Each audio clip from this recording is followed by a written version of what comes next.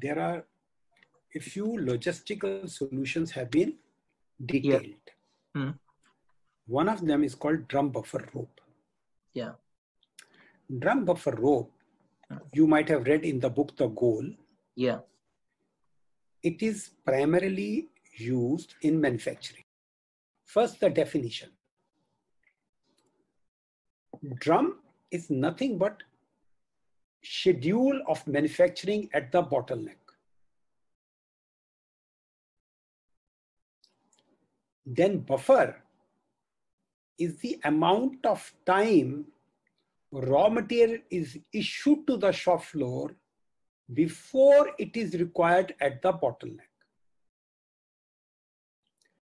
And rope is the mechanism controlling or choking mechanism of raw material into the store. Drum buffer rope primarily will be used when the constraint is production or capacity. First of all, let's assume you have a issue on delivery, even though you have enough orders, you have enough raw materials, but you are unable to deliver because one odd equipment is your bottleneck. This is primarily usable there. So drum stands for schedule of manufacture at the bottleneck. Now, let us say you have 20, 30 different, 40, whatever products orders that you have, you have scheduled which will come first, which will come second, which will come third. You have approximate time also at what time will it be usable at that time. Now, let us say something we needed. Tomorrow is what day? Friday. Tomorrow, Friday at 11 o'clock, we are going to, our machine will be free to process that particular item.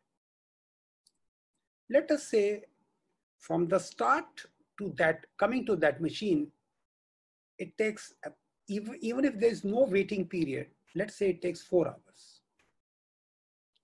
So theoretically, if we release the material at seven o'clock in the morning, and if there's no problem on the way, it will reach by 11 o'clock. But this is where the danger lies.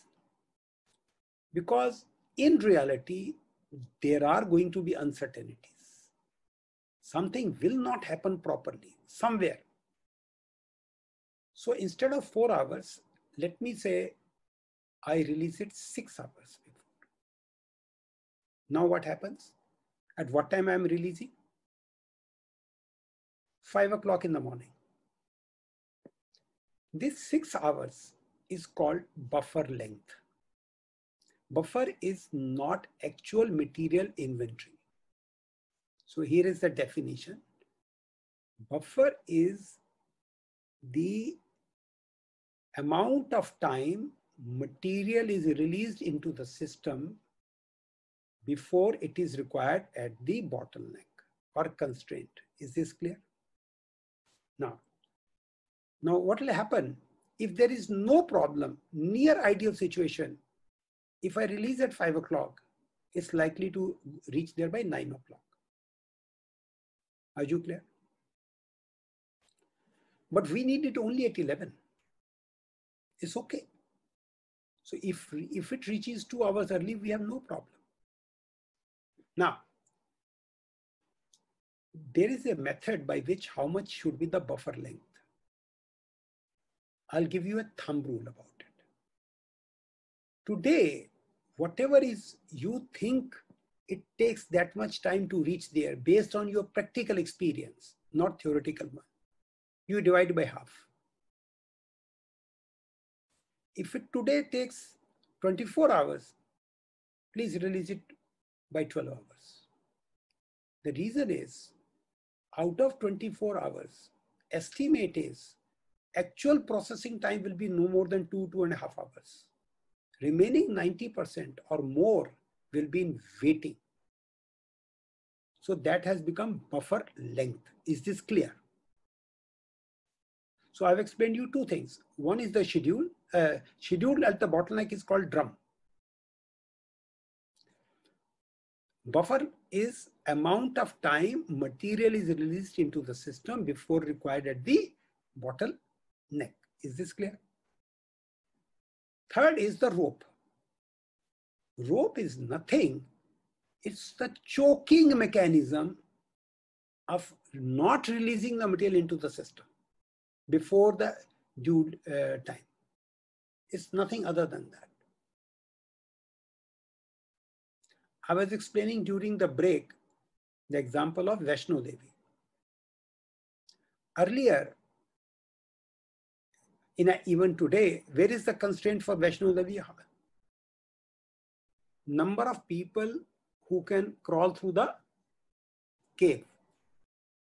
Now, earlier what was happening, there was no unrestricted allow, uh, people were allowed to go up. Net result was people were trying into the cave and thereby preventing each other from getting in. The net final output was suffering. You might have also experienced many times when the traffic signal lights are not working, everyone is trying to go home earlier. Net result, what happens? Traffic jam. Traffic jam. So nothing moves.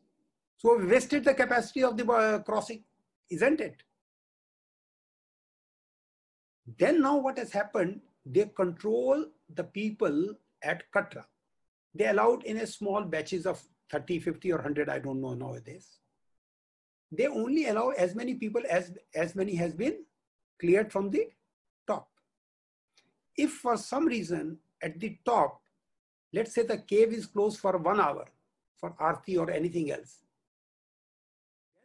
that means there is no output of the people who have uh, crawled through that then they will not release anybody from the down there. They are choking the mechanism. The problem is, let's say the first machine is idle. I have the raw material. But as per the schedule, it, it should not be working. People are also there.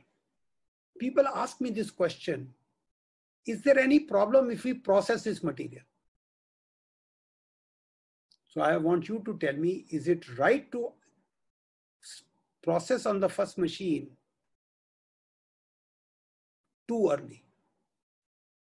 If yes, tell me. If no, tell me why.